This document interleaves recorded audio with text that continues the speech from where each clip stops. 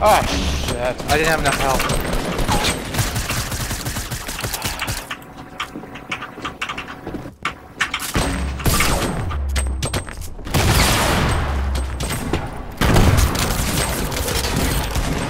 I don't have a shotgun. I think you guys take it, so.